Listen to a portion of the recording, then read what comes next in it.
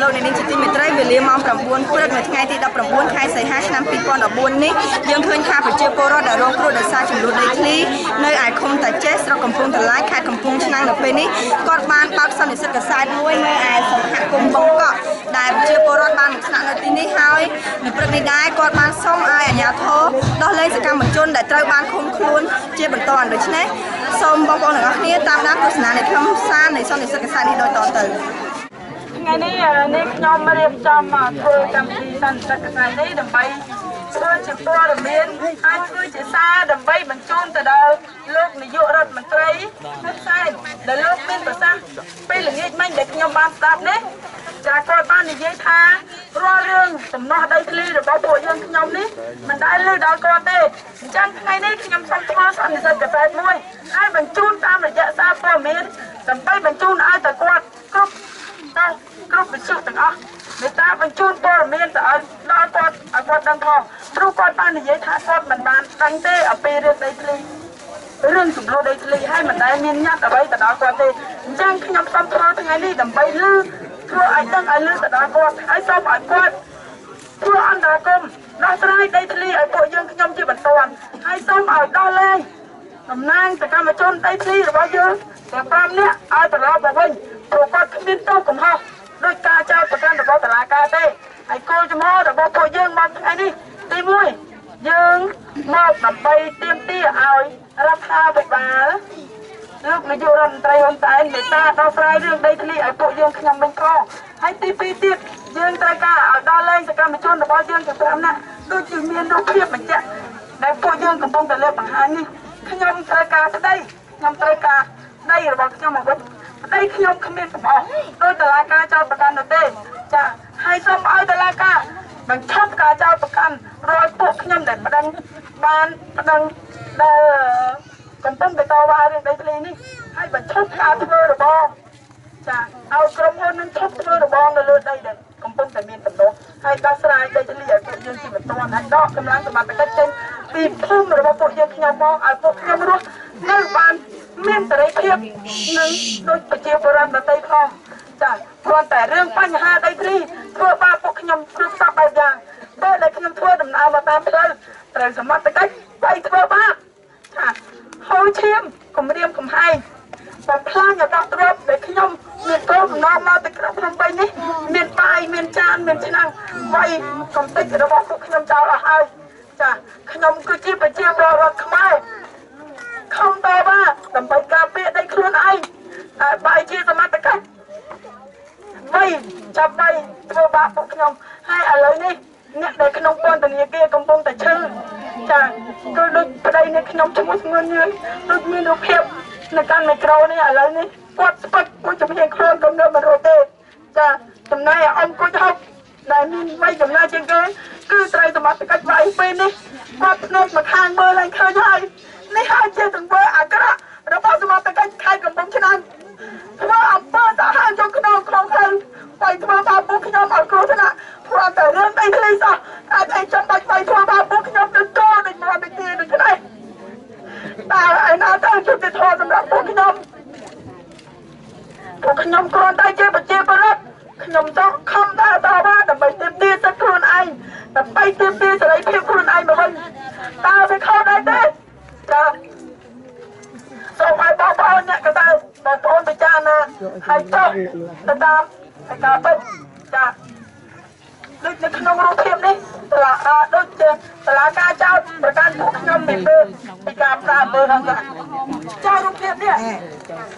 គឺជាកម្មកររបស់ក្រុមហ៊ុនសុទ្ធតែដែលបាញ់មកលើពួកយើងខ្ញុំតែតឡាការបាយជាចោតថាខ្ញុំនេះប្រើអំពើអសាទៅលើក្រុមហ៊ុនវិញចារឿងនេះគឺមិនពិតទេនេះគឺជាកម្មកររបស់ក្រុមហ៊ុនតែលើកគ្រាប់ជំនាញបាញ់មកលើពួកខ្ញុំចា បងប្អូនទៅតាមមើលឲ្យថតយកទៅវិញផងចាបាយមុខមកណាបាយមុខមកណាកូនកូនរបស់ខ្ញុំត្រូវការឪពុកត្រូវការជួបក្រុមគ្រួសារចាចៅមកមុខហើយឆន្ទៈរបស់ពួកខ្ញុំពេលនេះបើខ្ញុំគ្មានដំណោះស្រាយទេខ្ញុំមិនត្រឡប់ទៅវិញទៅផ្ទះវិញតែខាទោះបីរដូវខ្ជុំឬក៏កាន់បានក៏ដោយតែឲ្យខ្ញុំត្រឡប់ទៅមានន័យអីបើដីរបស់ខ្ញុំត្រូវគេរឹបអោប ក្រុមគ្រួសារខ្ញុំគេត្រូវគេចាប់ដាក់គុកតើខ្ញុំត្រឡប់ទៅផ្ទះវិញមានន័យអីត្រឡប់ទៅផ្ទះវិញត្រូវសមត្ថកិច្ចហត់គាត់ផ្ទះចេញទៅណាអត់រួចគ្មានសេរីភាពបែបមែនទេបងប្អូនអរគ្នាពួកយើងត្រូវការដីរបស់ពួកយើងមកវិញ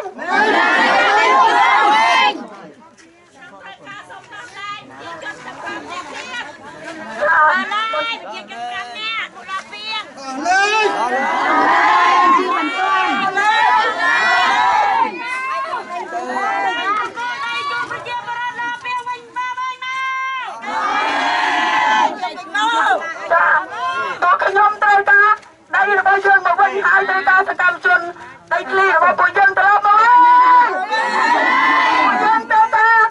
ដីរបស់យើងមកវិញពួកយើងត្រូវការយុត្តិធម៌ពេលនេះពួកខ្ញុំបរោះបរោះត្រូវគេចាប់ដាក់ពន្ធនាគារអស់ហើយពេលនេះភាគច្រើនគឺជាស្ត្រីពេលខ្ញុំធ្វើដំណើរមកតាមផ្លូវ សមត្ថកិច្ចវាយមិនធ្វើមុនសំបីទៅស្ត្រីដៃទៅទេក៏លើកដៃវាយដូចវាយរួចដែរចាបងប្អូនឃើញហើយនៅក្នុងរូបភាពនេះចាគេវាយសន្លប់គេអត់មើលទេគេលើកទៅខ្ញុំយកទៅបោះចោលដូចទៅគេអញ្ចឹងចាគេមិនមើលគេមិនខ្វល់ពីសុខភាពរបស់ខ្ញុំទេសំបីតែកូនកូនខ្ញុំនេះចេញនៅលើរទេះគេលើករទេះក៏លាក់កូនខ្ញុំទម្លាក់មកដីតើកូនខ្ញុំជាមនុស្ស ឬក៏ជាបតោតើសមត្ថកិច្ចធ្វើទេនេះតើពេលដែលពួកខ្ញុំដើរមកតើត្រឹមត្រូវទេយុទ្ធធរខ្លាំងណាស់ធ្វើនេះមិនត្រូវទេតើវាត្រឹមត្រូវទេឯណាទៅព្រមវិហារធម៌របស់មនុស្សដើម្បីតែកូនក្មេងមិនដឹងអីសោះគ្រាន់តែគ្នាជឿតែលើគ្នាដាក់ឲ្យត្រឹមត្រូវទៅវាយ៉ាងម៉េចលើកូនខ្ញុំរលាក់នៅតាមដៃនៅតាមឈើពីលើទៅទៀតធ្វើឲ្យកូនខ្ញុំមក ដល់បាយកៅហើយចាប់អពុកដាក់ពន្ធនាគារទៀតតើឯណាទៅតើយុទ្ធធម៌សម្រាប់ពួកយើងខ្ញុំអាចយុទ្ធធម៌ណាពួកយើងត្រូវការយុទ្ធធម៌ពួកយើងត្រូវការដីធ្លីមកយើងរបស់យើងមកហើយសូមឲ្យដល់លេខសកម្មជនទាំងម៉ាអ្នកមកវិញមក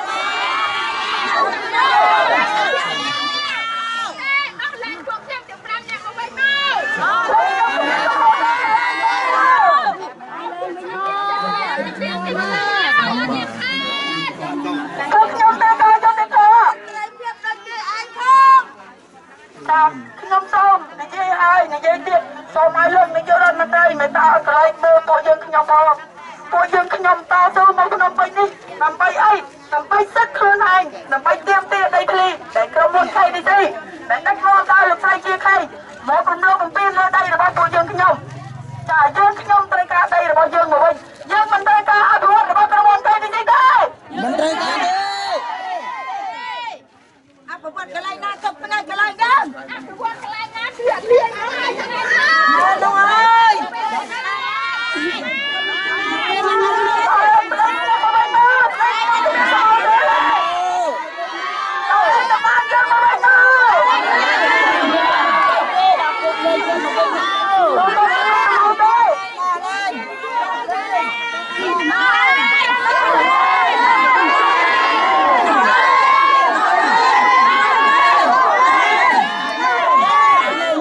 សមត្ថកិច្ច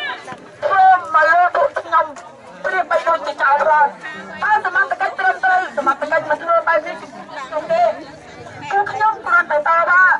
តស៊ូមតិតែអហិង្សាមិនបាច់ប្រើអំពើហិង្សាទៅលើសមត្ថកិច្ចទេតែសមត្ថកិច្ចវិញទេដែលប្រើអំពើហិង្សាមកលើពួកយើងខ្ញុំយកដំណងមកឲ្យពួកយើងខ្ញុំមិនថាចាស់មិនថាក្មេងវាយធ្វើបាបហើយចាប់ទៅដាក់គុកទាំងជំងឺទាំងមានជំងឺទៀតមិនព្រមព្យាបាលឲ្យយើងសិនទេចាប់យើងទៅដាក់គុកដោយយ៉ាងអាណ័យអក្រមបំផុតចាពិសេសពេល ដែលខ្ញុំខ្ញុំដើរមកមកដល់ចំណុចអូរុងអសមត្ថកិច្ចអត់មានសួរថាតើយើងទៅធ្វើអីយើងទៅណាអត់មានសួរយើងទេគឺមកដល់ភ្លាមគាត់ពួកយើងជុំវិញយកដំបងដេញវាយពួកយើងគ្មានត្រាប្រណីប្រណីតែម្ដងចាសុំបាយទៅសុំទៅតែបាយតែពួកខ្ញុំសុំបាយទៅ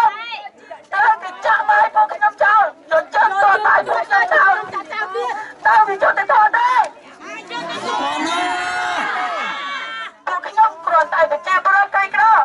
ទៀមទៀមតែដីខ្លួនឯងសំសិទ្ធគ្រប់គ្រងដីខ្លួនឯងតើអានេះជាកំហុសរបស់យើងទេ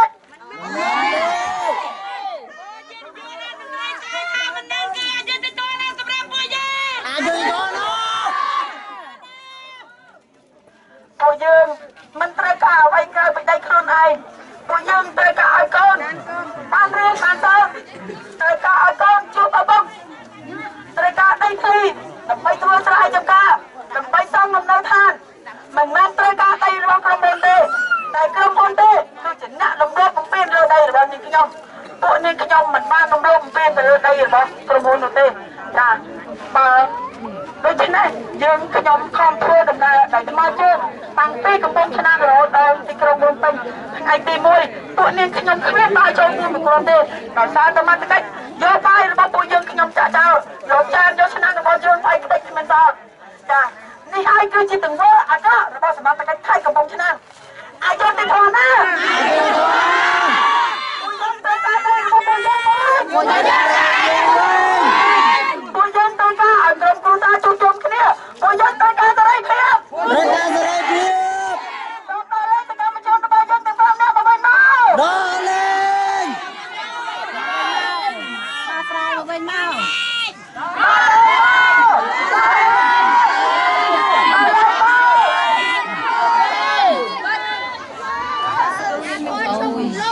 យើងត្រូវការសិទ្ធិរស់រានមានជីវិតយើងត្រូវការសិទ្ធិគ្រប់គ្រងដីរបស់យើងយើងត្រូវការឲ្យអ្នកជាប់ពន្ធនាគារទាំង5នាក់ចេញមកវិញដោយគ្មានលក្ខខណ្ឌសូមឲ្យ បានចូលរៀនឆាប់ឆាប់ នឹងឲ្យបានចូលចៅចូលរៀននឹងគេវិញផងដោយសារតែវិបត្តិដីធ្លីអស់បន្លាយរយៈពេលយូរឆ្នាំធ្វើឲ្យប្រជាពលរដ្ឋយើងខ្ញុំក្រីក្រចាសូមឲ្យចាបងប្អូនមើលទៅនេះមិនមែនជាឆាលខោដូចកម្មវិធី ទូរទស្សន៍ឬក៏តែដែលបានថាពួកខ្ញុំនេះធ្វើលខោនោះទេ